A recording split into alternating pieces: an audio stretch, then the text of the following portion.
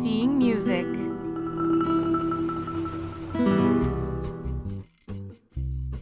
For blind Madrid based pianist Raul Thais Antequera, teaching music is about so much more than theory, notes, and technique.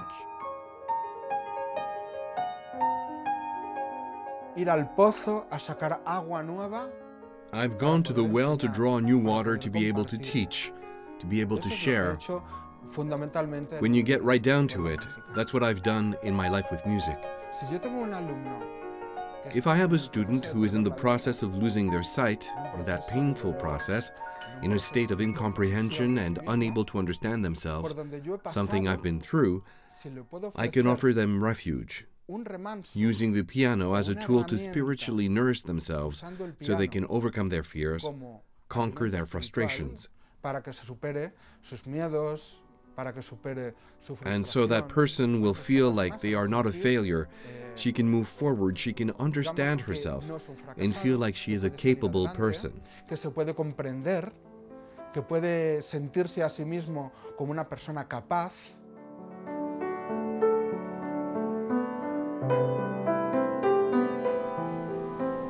On the beaches of San Sebastian, in Basque Country, multi instrumentalist Tcha Limberger wistfully recalls the beginnings of his career in music.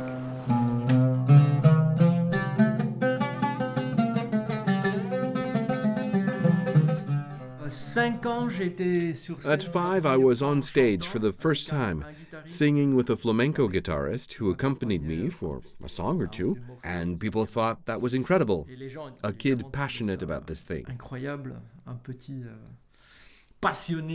Incroyable, un petit euh, passionné de son truc.